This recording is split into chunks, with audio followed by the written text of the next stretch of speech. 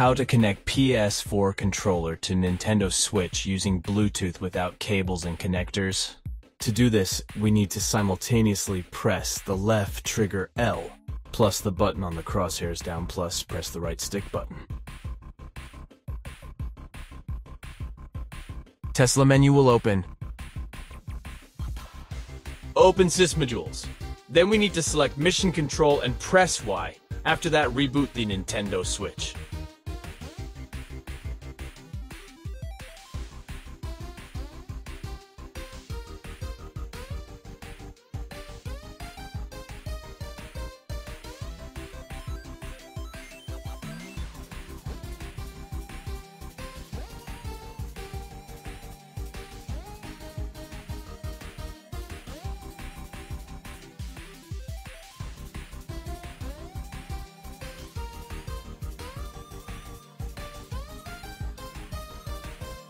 Everything is ready. Now we go to the controller menu, select the first tab.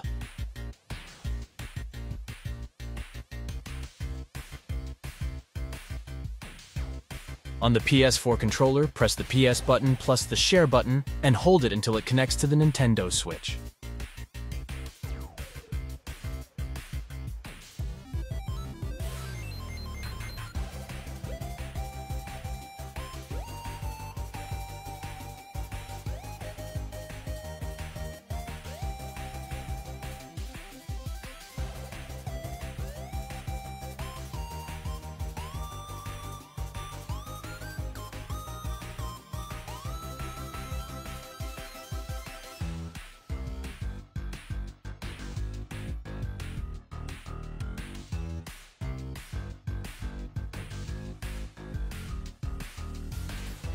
After blocking it is turned off, but when it is turned on, it is not necessary to bind it again.